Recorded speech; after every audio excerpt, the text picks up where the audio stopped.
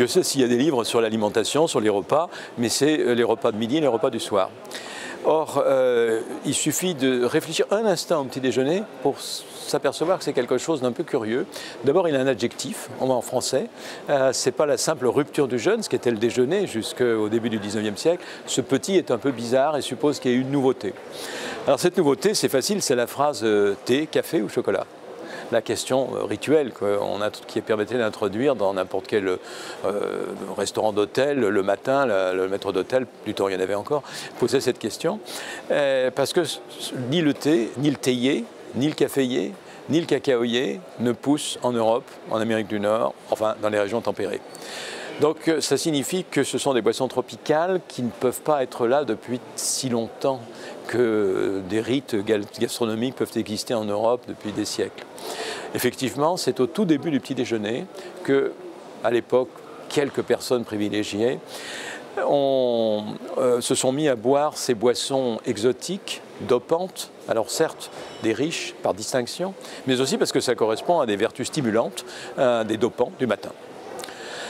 Et, puis ça s'est massivement généralisé, d'autant plus qu'à ces trois plantes tropicales a été ajoutée une quatrième plante, elle plus anciennement présente sur les tables européennes, mais en toute petite quantité, le sucre, qui était exclusivement, jusqu'au 19e, du sucre de canne. Donc euh, ces boissons, euh, les Européens les ont fait à leur goût, les ont fait des boissons européennes, entre autres en ajoutant du sucre au cacao, une boisson américaine euh, qui ne connaissait pas, où on ne connaissait pas le sucre, donc qui n'était pas une boisson de ce type-là. Euh, alors, ce n'est pas eux qui ont mis du sucre dans le café les premiers, puisque ce sont les inventeurs du café, les Arabes, mais ils l'ont mis dans le thé, qui était une boisson chinoise où on ne mettait pas de thé. Et de plus, les Européens ont souvent mis du lait. Donc, devenues ces boissons européennes, euh, c'est devenu le, rite alimentaire du, du matin.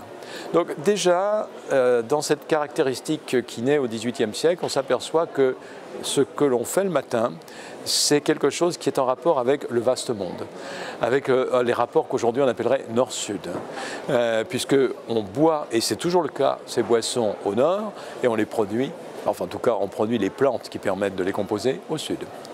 Alors autour de ces boissons se sont agrégées d'autres pratiques rituelles dont j'essaye de tracer rapidement les, éléments, mais de manière simple, ce n'est pas un ouvrage universitaire, c'est un travail grand public, euh, pour euh, essayer de faire conscience que cette chose tout à fait quotidienne, qui est notre petit déjeuner, eh c'est quelque chose qui est lié au rapport Nord-Sud, mais aussi à la révolution industrielle. Parce que ça suppose d'abord toute une, industrie le, petit déjeuner, c'est le lieu de l'agroalimentaire. C'est là où s'introduit l'agroalimentaire.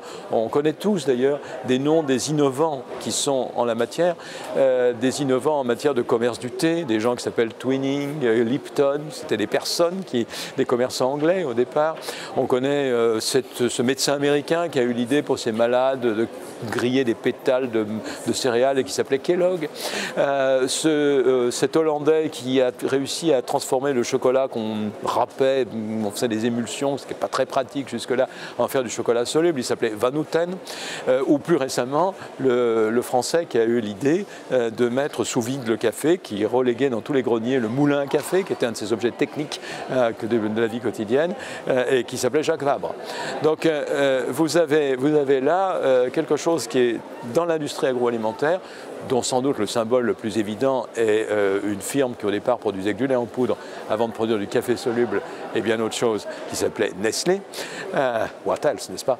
Euh, vous, avez, vous avez là quelque chose qui, dès le 19e siècle, plonge le repas européen dans l'agroalimentaire beaucoup plus que les repas de midi ou du soir.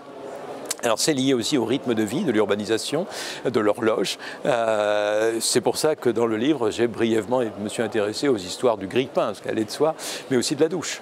Parce que euh, vous avez des, éléments qui, dans la vie quotidienne, amenaient dans une famille à euh, interpénétrer l'emploi du temps de ce premier repas de la journée qui était devenu codifié quand on allait à l'école, au bureau, à l'usine, enfin quand on rentrait dans une vie qui était structurée par des trois repas très très très organisés de l'urbanisation industrielle.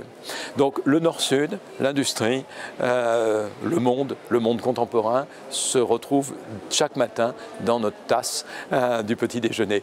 D'où l'intérêt d'essayer de, partir de cette vie très quotidienne euh, pour essayer de voir une histoire tout à fait mondiale.